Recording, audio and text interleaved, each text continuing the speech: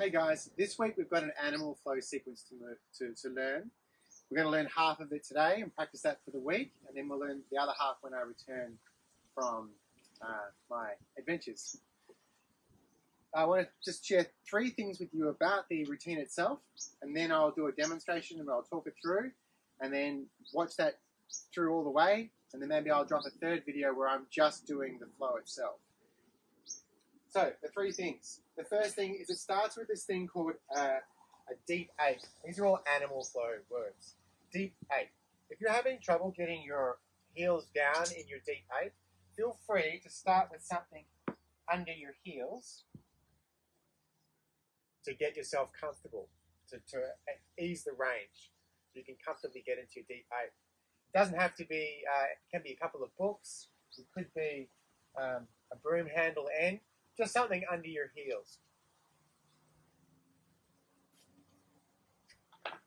The second thing is that within the sequence there's this thing called a loaded beast, and it's not an easy move to to do. So what I'm wanting you to do is give you a couple of options within it because I want you to have great form and a strong structure, and as you get better at the movement, you can stretch it out. So a loaded beast is where your hands are in front of you like this, and you have your toes under and you engage the knees and the core, and those knees pop off the ground. Now, if you find yourself not strong enough in the shoulders or in the lower back, the tendency is to sag in those areas or to feel pain in those areas. We don't want to sag and we don't want to feel pain. So the idea is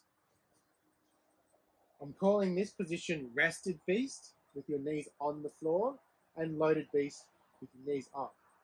Bring your hands in a little in rested beast position. Round your back out.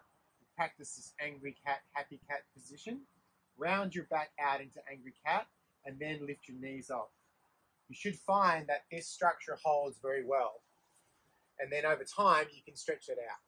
So that's that part. The last part is you need to learn the routine, and that will take time. It'll feel clunky at the beginning, but then it'll, it'll even out. You'll know the routine. And once you know the routine, I want you to breathe in and out. I want you to, to breathe, to feel, and to flow.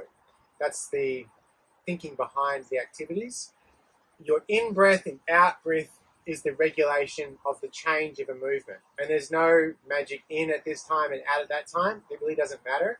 Just breathe in and out evenly as you're moving through the motions. That's our animal flow sequence. I'll go through it now. I'll stop this video and go through it now. And then you can watch it through, and then I'll try another one where I just call it out and flow through. You can repeat this sequence three times in a row, or once, or somewhere somewhere at a different time of day. But if you're doing it three times in a row, make sure you take a good three to five minute break before you do it again or do some other activity.